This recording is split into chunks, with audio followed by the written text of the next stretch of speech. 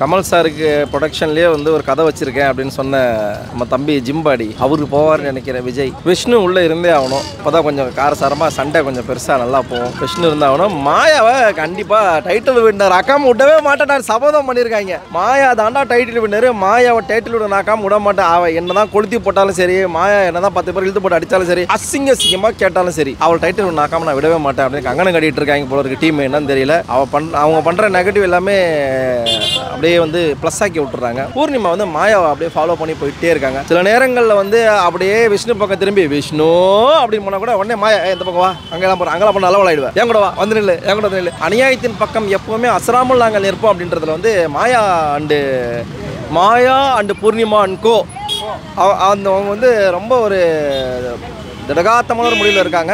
இந்த வாரம் போயிடும் ரவினா போயிடும் ரொம்ப ஆடி நிக்குது அது உள்ள. தூக்கிடுவாங்க இந்த வாரம். மணி கூட சேர்ந்து சுத்தி நிக்குது ப்ரோ என்ன பண்றது சொல்லுங்க.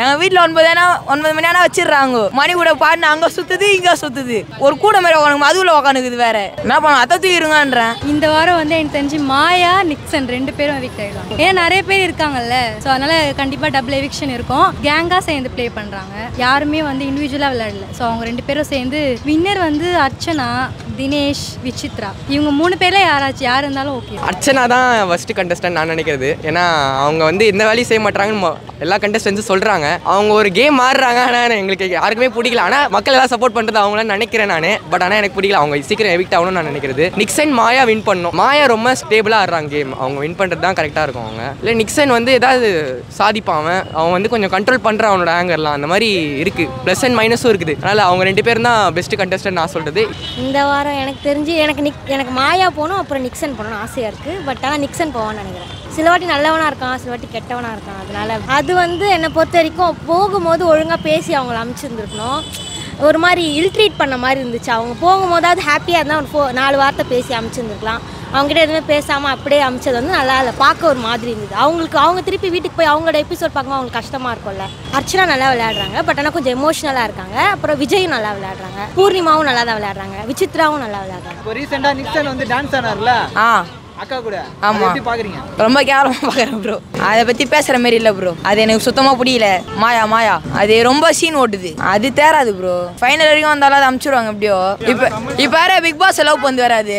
கமல் சார கமல் சார லவ் பண்ணுது ரெண்டு பேரும் மாத்தி மாத்தி லவ் பண்றாங்க. யார் டைட்டில் வின் பண்ணுவான் அர்ச்சனா ப்ரோ சொல்லுங்க அது பண்ணல இல்லை அவங்க ரொம்ப விக்ரம் ஹர்ட் பண்ணுற மாதிரி பண்ணாங்க. அது தப்பு தான் ரொம்ப க்ளோஸாக இருந்தாங்க. கேங்க எல்லாருமே சேர்ந்துட்டு விக்ரம் ரொம்ப மாயா கூடவே சேர்ந்துட்டு அவங்களுக்கு நிறைய ஹெல்ப் பண்ணியிருக்காரு. ஆனால் வெளியே போகும்போது இந்த மாதிரி பண்ணாங்க. ஒரு மாதிரி ஃபேஸ் வந்து இரிட்டேட்டிங்காக ஒரு மாதிரி பண்ணாங்க. அது தப்பு. நிக்சன் தான் ஒரு மாதிரி ஃபேவரட் அந்த மாதிரி இருந்துச்சு. அதுக்கப்புறம் இப்போ அவனே வந்து ஸ்பாயில் பண்ணிட்டான். அதான் அந்த மாதிரி ரிலேஷன்ஷிப் அப்படி இப்படி நிறைய இருந்தது ஸ்பாயில் பண்ணி. நிக்சன் வந்துட்டு அந்த வீட்டிலே இருக்க வேணாம். அவன் வந்துட்டு எதுக்கு இருக்கானே தெரியல உண்மையை சொல்லுவானா. சும்மா எல்லாம் ஒரு ஒரு எல்லாருக்குள்ளேயும் ஒரு டேலண்ட் இருக்குது அதுக்காக வச்சு மூவ் ஆன் பண்ணுறேன்னு நினச்சிட்டு இருக்கான் அவங்களுக்குன்னு பார்த்தா டேலண்ட்டே இல்லை. அவன் ரேப் பண்ணால் அவனுக்கு டேம்ல டேலண்ட் இருக்கா? அப்படின்னு பார்த்தா எல்லாருக்கிட்டேயும் ஒரு டேலண்ட் இருக்க தான் செய்யும். அதுக்கு நான் அவங்கள வச்சுருக்கிறது ரீசனே இல்லாத ஒரு விஷயம். நிக்சன் வந்துட்டு எப்போவுமே அன்னெசரி டாக் விடுவான். அதுவும் ஆக்சுவலாக நல்லா இருக்காது. ஆஹா பிரதீப் போனதுக்கு வந்து பெண்கள் பாதுகாப்பு இல்லாமல் தான் ரெட் கார்டு கொடுத்தாங்க. இவனுக்கு ஃபஸ்ட்டு கொடுத்துருக்கணும் எனக்கு தெரிஞ்சு கேட்டிங்கன்னா. அவனுக்கு கொடுக்கறது ஒரு நியாயமே இல்லாத விஷயம். பிரதீப் வந்தால் நல்லாயிருக்கும் ஆனால் வரமாட்டார். வேறு வழி இல்லை. ஒம்பது மணிக்கு மேலே போர் அடிக்குதுன்னு சொல்லிட்டு ஏதாவது விஜய் டிவியில் ஏதாவது போடுவாங்கன்னு திறந்து வச்சு பார்த்தா கண்டிப்பாக பிக் பாஸ் பார்த்து தான் வேற வழியே கிடையாது. போன வாரம் யார் எலிமினேட் ஆனாங்கன்னா விக்ரம் தான் எலிமினேட் ஆனாப்புல. இப்போ ஏன் இவ்வளோ நாளாக உள்ளே வச்சிருந்தாங்கன்றது எனக்கு தெரியல. அட்லீஸ்ட் லாஸ்ட்டு கடைசி வாரத்தில் ஏதாவது பட்டு போயிருக்கலாம் தம்பி. எதுவுமே பண்ணாமல் இருக்காப்புல. நிக்சன் வந்து ரொம்ப ஒரு கஷ்டப்படுற பையன். ஒரு கஷ்டப்பட்டு ஒரு நல்ல நிலைமைக்கு ஒரு வாய்ப்பு நல்லா கிடச்சிருக்குன்னும் பொழுது அந்த வாய்ப்பை உபயோகித்து அவன் அடுத்த கட்டம் வரணும். இப்போ நான் வந்து ஒரு கீழ்த்தட்டு இடத்துல இருந்து நான் வரேன். இன்றைக்கி நான் ஒரு மிடில் கிளாஸாக இருக்கிறேன். நான் ஒரு மிடில் கிளாஸாக இருந்து எனக்கு அந்த வாய்ப்பு கிடச்சி நான் போகுது அப்படின்னா அந்த இடத்துல போயிட்டு மனிதர்களோட இயல்பு என்ன அப்படின்னா ஒரு மனுஷன் என்ன மைனஸ் இருக்குன்னு தான் ஃபஸ்ட்டு பார்ப்பாங்க. அந்த மைனஸ் வச்சு தான் அவன் அடுத்து என்ன சாதிக்கிறான்றத வச்சு அதை ப்ளஸ் ஆக்குவான்.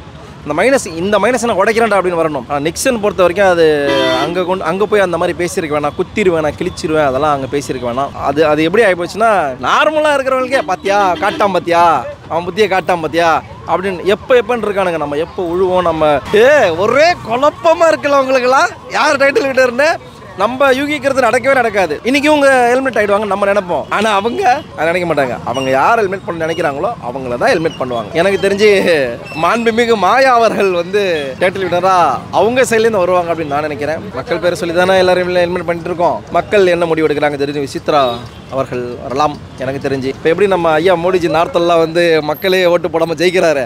அந்த மிஷின் வச்சு ஜெயிக்கிறாரு பாருங்க. அந்த மாதிரி தான் மக்கள் என்னதான் ஓட்டு போட்டாலும் அவர் தான் ஜெயிப்பாரு. மக்கள் ஓட்டு போடலாம் அவர் தான் ஜெயிப்பாரு. அந்த மாதிரி தான் இங்க. இவங்க மக்கள் ஓட்டு போட்டாலும் மாயா தான் ஜெயிப்பாங்க. மக்கள் ஓட்டு போனாலும் மாயா தான் ஜெயிப்பாங்க. வேறு அதான் ப்ரோ இப்போ நிக்சனும் வந்து காம்படிஷனில் இருக்கார்.